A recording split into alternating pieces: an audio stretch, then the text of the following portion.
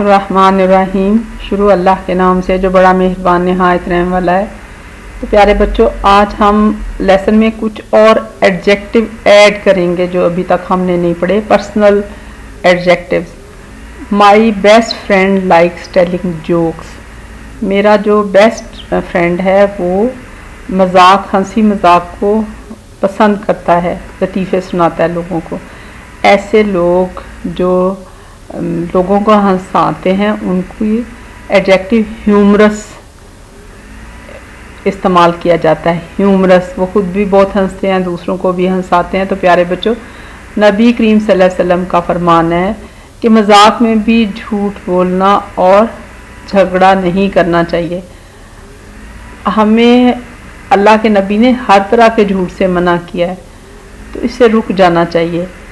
جھوٹ بولنا کسی حال میں بھی جائز نہیں ہے، بلکہ یہ بھی جائز نہیں ہے کہ آپ اپنے بچے کو جھوٹ موٹ کہیں کہ میرے ہاتھ میں یہ چیز ہے یہ تم پورا کر لو، میں تمہیں دوں گا۔ تو یہ بھی نہیں کہنا چاہیے جب تک واقعی آپ کے پاس کچھ نہ ہو۔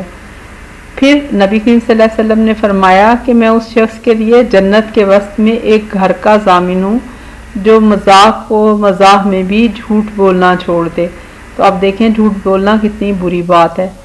She likes telling everyone what to do اس خاتون کی عادت ہے کہ وہ ہر وقت ہر ایک کو کہتی رہتی ہیں، یہ کرو، وہ کرو۔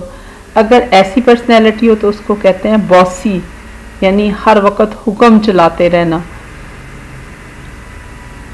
اور پھر اس کے بعد ہے it is important for my friend to be successful whatever she he does میرے دوست کے لیے یہ بہت اہم ہے کہ وہ جو بھی کام شروع کرے اسے کامیابی تک پہنچا دے۔ تو پیارے بچوں، آپ اپنے لیے بھی یہ اہم بنا لیں کہ آپ نے جو کام شروع کرنا ہے اسے راستے میں نہیں چھوڑنا، بلکہ اسے منزل تک اپنے آپ کو پہنچا کے اس کام کو مکمل کر کے رہنا ہے۔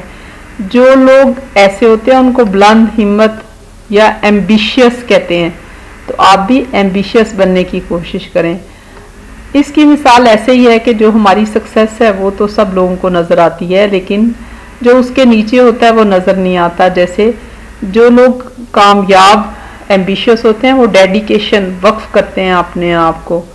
پھر وہ ہارڈ ورکنگ ہوتے ہیں، بہت زیادہ محنت کرتے ہیں۔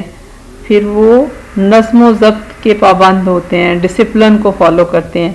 ان کی لائف میں ہر کام نظم و ضبط سے ہوتا ہے۔ پھر کئی دفعہ ان کی توقعات پوری بھی نہیں ہوتی، لیکن وہ محنت کرنا نہیں چھوڑتے۔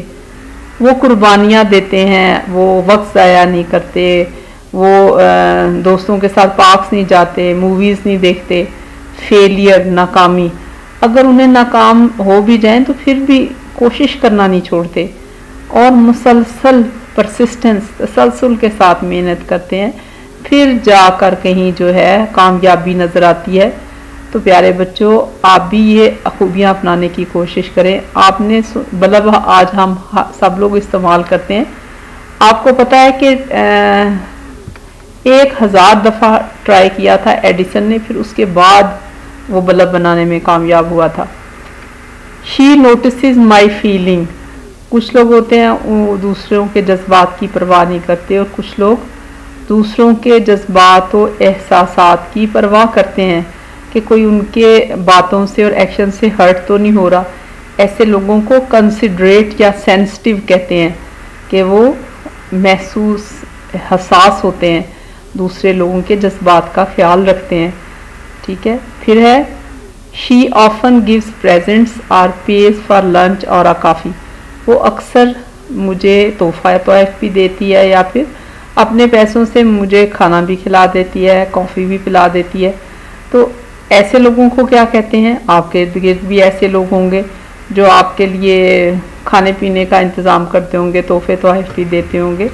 تو ایسے لوگوں کو جنرس کہتے ہیں۔ جنرس کا مطلب ہوتا ہے فیاض۔ اور تحفہ یہ نہیں ہے کہ آپ کوئی بڑی قیمتی چیز تو آپ کسی کو پھولوں کا تحفہ بھی دے سکتے ہو، کسی کو مسکراہٹ بھی دے سکتے ہیں۔ اور پھر نبی کریم صلی اللہ علیہ وسلم کی ایک حدیث ہے کہ اے ابو ذر، جب تم شوربے والا سالن پکاؤ تو اس میں پانی زیادہ کر لو اور اپنے پڑوسیوں کا خیال کرو۔ تو آپ چھوٹی جو گھر میں معمولی چیزیں ہیں، وہ بھی تحفے کے طور پر دے سکتے ہیں۔ اور جب ہم اللہ کی خاطر کوئی بھی چیز اپنا مال اللہ کی راہ میں خرچ کرتے ہیں، تو اللہ اس کی مثال ایسے دیتا ہے جیسے تم نے ایک دانہ بویا اور اس میں سے سات بالیں نکلی اور ہر بال میں سو دانے۔ ایک علامہ اقبال کا شعر ہے، کرو مہربانی تم اہل زمین پر، خدا مہرباں ہوگا عرش بری پر. She becomes angry or annoyed if she has to wait for something or someone she becomes angry غصہ آ جاتا ہے، چڑچڑی ہو جاتی ہے annoyed if she has to wait for something or someone اگر اس کو کسی کا انتظار کرنا پڑ جائے یا کسی کے لیے، تو جو ایسے لوگ ہوتے ہیں، ان کو کہتے ہیں امپیشنٹ بے صبرے لوگ۔ جیسے اگر آپ ایک بیج بوئیں اور اس کے اوپر نظر لگا کے بیٹھ جائیں کہ وہ جو ہے وہ پودا کیوں نہیں بن رہا؟ پیارے بچوں، یہ یاد رکھو کہ ہر چیز وقت پر ملتی ہے۔ ہمارا کام ہے کوشش کرتے رہنا، نتائج اللہ پہ چھوڑ دینا۔ ان اللہ صابرین بے شک اللہ صبر کرنے والوں کے ساتھ ہے۔ اللہ ان لوگوں کی کی مدد کرتا ہے جو صبر کرتے ہیں، جو صبر کے ساتھ اپنا کام کیے چلے جاتے ہیں، کیے چلے جاتے ہیں۔ I can trust my friend with the secret میں اپنے دوست کے اوپر بھروسہ کر سکتا ہوں کسی راز کے سلسلے میں۔ ایک تو یہ کہ جس کو جو سچا ہو آنیسٹ ہو، آپ اس کے اوپر ہی ٹرسٹ کرتے ہیں۔ لیکن ایسے لوگ جن کے آپ بھروسہ کر سکیں، ان کو کیا کہتے ہیں؟ ریلائبل یا ٹرسٹ وردی ایسے ہی ہے جیسے ایک بچے کو پکا یقین ہوتا ہے کہ وہ جمپ لگائے گا تو اس کے امی یا ابو اس کو پکڑ لیں گے۔ اصل میں تو ہمیں ایسا یقین اللہ پہ رکھنا چاہیے۔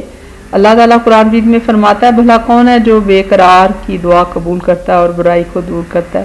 صرف ایک ہی ہستی ہے جس کے وعدے بھی سچے ہیں اور جو ہمیں سارا کچھ بغیر مانگے بھی عطا کرتی ہے، مانگے کے تو کیوں نہ دے گی؟ وہ اللہ کی ذات ہے۔ لیکن ہم اللہ پہ ہی تو بھروسہ نہیں کرتے، علامہ اقبال کا شعر ہے۔ بتوں سے تجھ کو امیدیں، خدا سے نو امیدی۔ مجھے بتا تو صحیح اور کافری کیا ہے۔ اگر ہم بیمار ہوتے ہیں تو ہم کہتے ہیں، کسی نے ہمیں بیمار کر دیا۔ محنت ہم خود نہیں کرتے، کہتے ہیں، کسی نے رزق بند کر دیا۔ تو پیارے بچوں ڈو وٹ از رائٹ ہمیشہ وہ کام کرو جو صحیح ہے۔ ناٹ وٹ از ایزی دوسرے پہ الزام لگانا بہت آسان ہے۔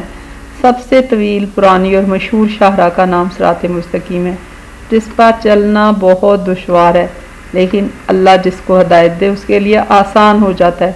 اس چینل کو سبسکرائب کریں، اس ویڈیو کو لائک اور شیئر کریں۔